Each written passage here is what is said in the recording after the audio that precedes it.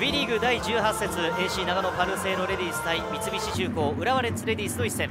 両チームにとって大事なゲームとなりました。まずは前半4分です。浦和のこのシーン安藤のシュート。まさにねファーストシュートでしたからね。浦和のこう浦和劇場なのかなっていうのを思わせたようなゴールでしたね、立ち上がりすぐでしたからね、はい、安藤のこの技ありのアウトサイドのかかったゴールが印象的ですね、はい、浦和が先制しますしかし前半22分です。滝沢のこの角度のあるシュートが決まります。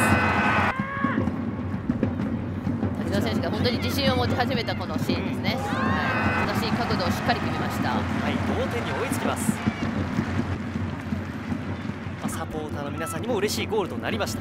そして前半28分です。コーナーキックからこのこぼれたボールを菅沢が押し込みます技ありまあもちろんあのダメあのフリーにした選手をねあのいけないんですけれども、はい、しっかりと技ありの転がすような嫌なシュートですね。はい。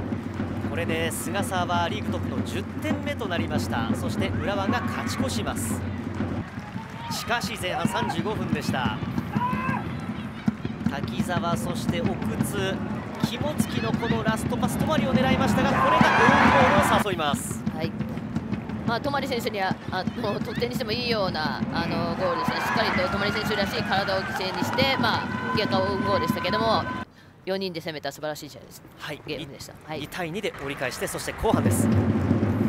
さあ後半清家がボックス内で倒されて PK を獲得。1